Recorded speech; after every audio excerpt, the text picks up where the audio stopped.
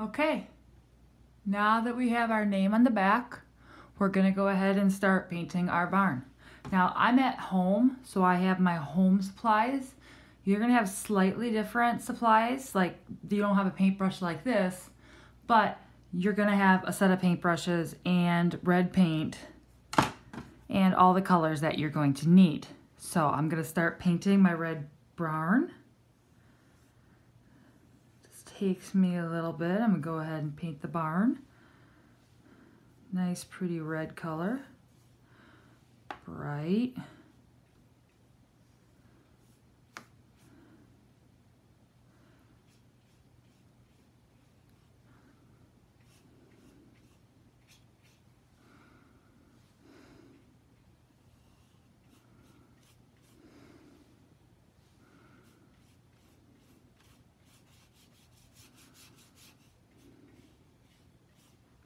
If you notice, I'm only dipping my brush in. I'm not scooping the paint up.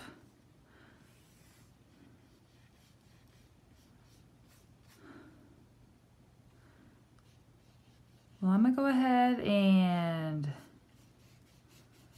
turn this video off and finish my painting. And then we'll come back and show what's next. Make sure you're taking your time, doing the best you can to stay in the lines. You see, I've just done this one barn wall and it's taken me a good two minutes. So make sure you're taking your time. No rush. I'd rather you paint a beautiful picture than be the first one done. So please take your time. Now that my barn is painted, I think I'm going to start painting the sky. Now one thing you have to do when you're changing colors, make sure you wash out your brush inside some water, take a paper towel, and wipe off the extra. So again, every time you change colors, put it in the baby food jar, wash it off, then wipe it out. So we're gonna start, and we're gonna start going ahead and painting my sky.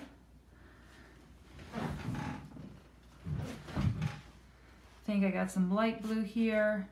Light blue is just is you it's just white mixed with blue. That's how you make a good light blue color. I think that's a good color choice. I'm being very careful not to touch my barn. We are going to be outlining it in paint if you do end up accidentally touching your barn. I'm gonna go all the way to the edge. You guys are gonna be able to wash the tables, so I would rather you paint a nice, crisp, clean edge going all the way to the end. I just go a little bit. There's not a lot that I'm going past. Just taking my time, doing one area at a time.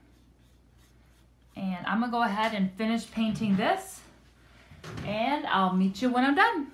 Okay, thanks.